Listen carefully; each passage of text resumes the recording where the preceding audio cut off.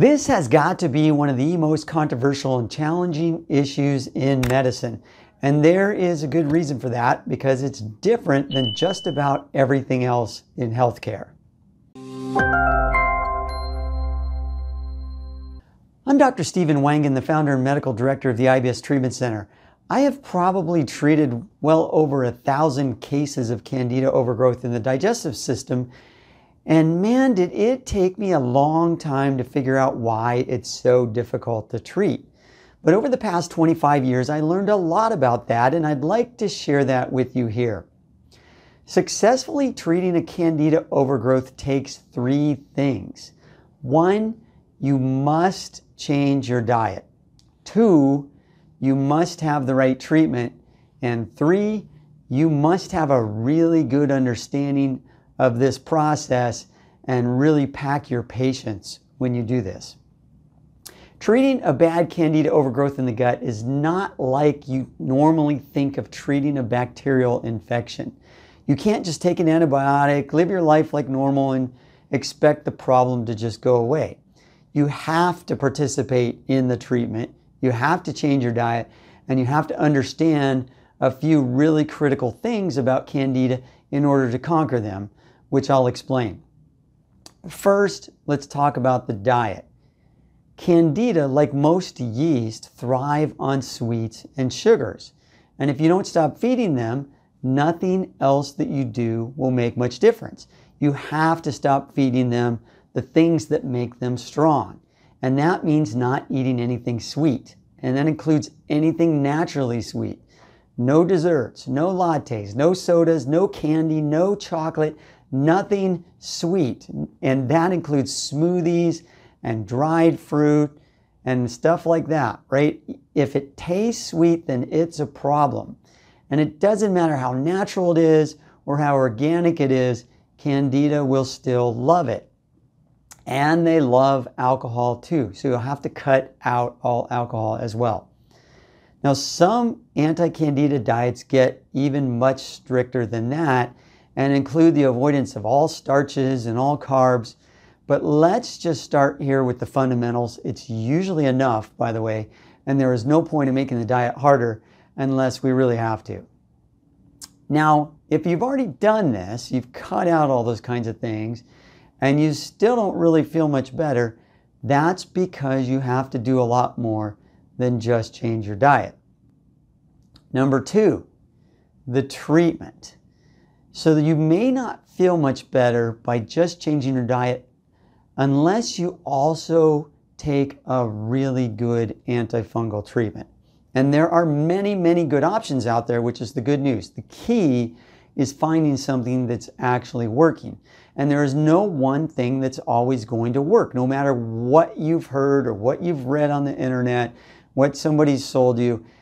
Candida and yeast, like bacteria, can develop resistance to things, right? So, just like bacteria can have resistance to antibiotics. So, we have to find something that is going to work. And ironically, natural antifungals are often really excellent options. So these include things like garlic or oregano oil, and there are all kinds of herbal and botanical medicines that have wonderful antifungal, anti-candida properties. They must be, of course, very high quality to work well, right? They have to be highly concentrated, and you must know how to dose them, and you must take them long enough but they can be just as good as any prescriptive antifungal. And I've used them successfully in literally thousands of patients uh, over the years. So that's the natural side, which is great, and you have access to those things on your own. Another great option is nystatin.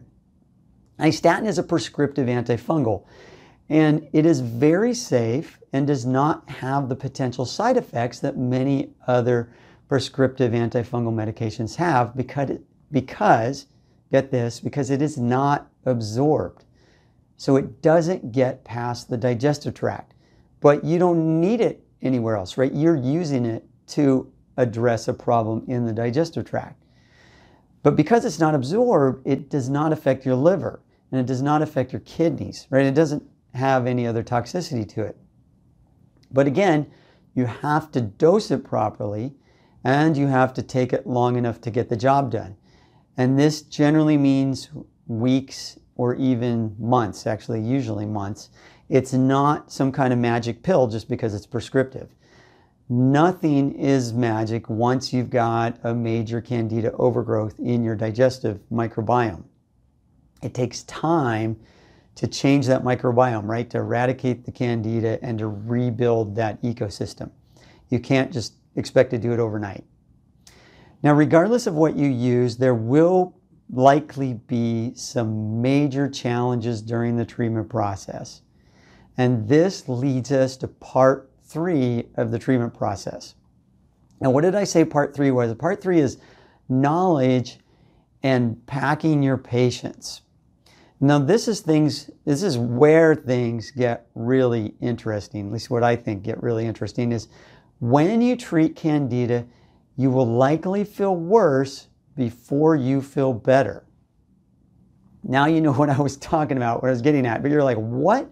Yeah, you heard that right. It may sound really stupid, but if you don't understand that and you don't believe it and you stop the treatment because you feel worse, then it's likely that you will never actually experience any long term relief.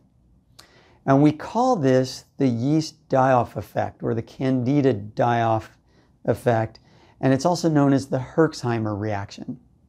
And here's what happens in at least 50% of, and I'm talking about all the patients I've ever treated, like over a thousand times, right? That I've treated a candida overgrowth, the patients got worse at least half of the time, and they get worse for a, a while. And it wasn't a reaction to the thing we used to treat it, because when they're switched to something else that's just as effective, they get the same reaction. Same thing happens. That's how I learned that it wasn't just the thing I was using. Candida do not go down easy. They literally they fight like hell and they make your life miserable in the process. So it's a battle when you're treating candida. And you want to win the whole war, right? But you have to win that first battle.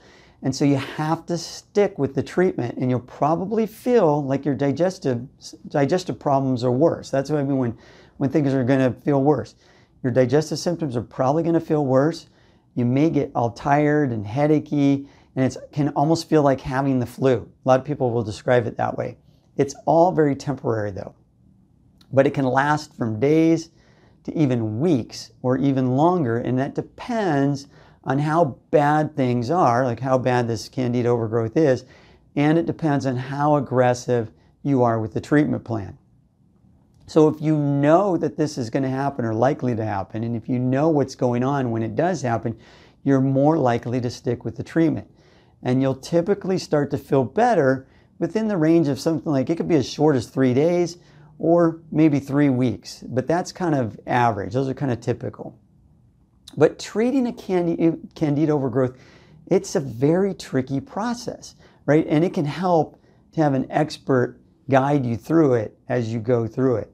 And if that's what you need, then give us a call because that's what we do. That's one of the things we help patients with.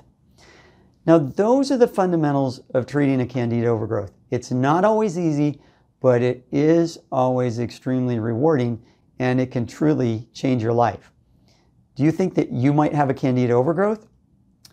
If you found this video helpful, please give it a thumbs up and subscribe to my channel for more information about candida and other aspects of digestive health. Thanks for watching.